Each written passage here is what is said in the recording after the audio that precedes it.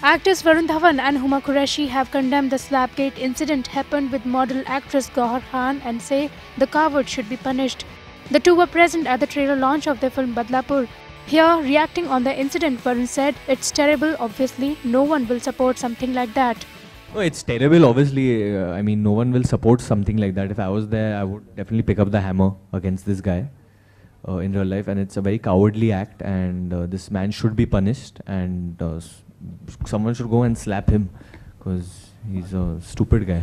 Gauahar Khan was on Sunday slapped by an audience member while she was hosting a reality show, India's Raw Star.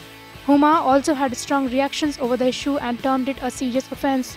No, I think it's a very serious issue. It's, it's about safety of women and how we look at them. And I think anybody who sort of disrespects them or resorts to any sort of violence against women, I think should be punished. And as a society, we should completely condemn it. And why should a woman feel apologetic about what she's wearing or how she's, uh, you know, and, and whether that gives a guy to just sort of, uh, you know, hurt her or brutalize her or say something. Matlab, आपने जो पहना है वो मतलब you, I mean, that's your decision as a woman. You can't sort of, uh, you know, uh, uh, resort to violence uh, because of that. And I think it's completely incorrect. Meanwhile, several other Bollywood celebrities like Farhan Akhtar, Sushmita Sen, and Alia Bhatt have also come in support of the actress. Karananda IANS.